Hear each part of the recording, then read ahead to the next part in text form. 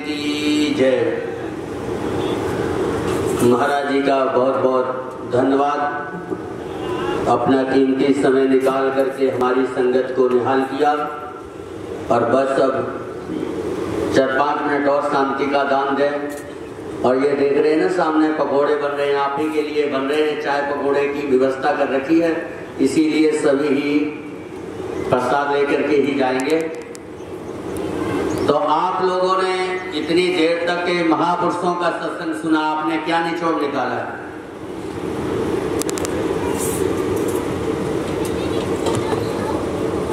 अभी इतनी देर तक महात्मा बोलते रहे, आपने कुछ ग्रहण नहीं किया क्या? सारी बात थी बाणी की। कहते हैं बाणी तो अनमोल है, जो कोई बोले जान, और हियर तराजू तोल के जब मुकाबे बाहर महापुरुषों ने गुरबाणी में लिखा हुआ है कि बाणी ऐसी बोल लिए कि मन का आपा खोए और औरन को शीतल करे, आप ही शीतल हो कि ऐसी वाणी बोलनी चाहिए कि बंदे को खुशी उमड़े। और जब अगले का दिल ठंडा होगा तो हमारा भी दिल ठंडा होगा।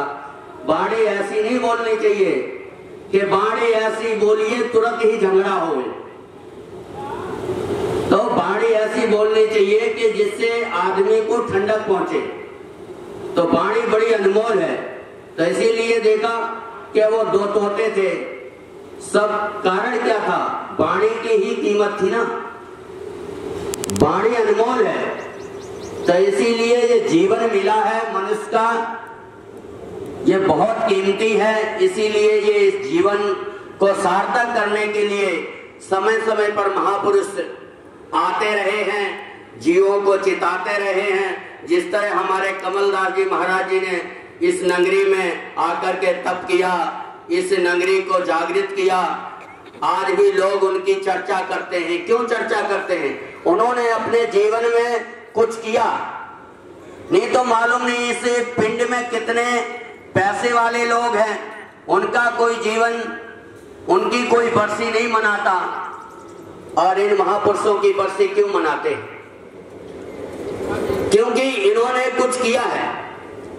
इसीलिए हम लोग जब संसार में आए हैं तो महापुरुषों की वाणी को हम यदि ग्रहण करेंगे तो अपना भी जीवन धन हो जाएगा और आने वाली पीढ़ियों का भी जीवन धन हो जाएगा। वरना कहते हैं पुन्नति जन्म पुन्नति मरणम पुन्नति जननी जठरे सैनम, जन्म लेना मरना, जन्म लेना मरना, ये संसार में लगा ही रहता है। तो इसीलिए आपने देखा है कि महाभारत का जो युद्ध हुआ, क्यों हुआ, किस कारण हुआ? सिर्फ़ वाणी के कारण। द्रौपदी ने क्या कहा था? दुर्योधन को कि अंधे की संतान अंधी। उसी के कारण वो वहाँ से बीज बोया और देख लो कितना बड़ा महायुद्ध हुआ।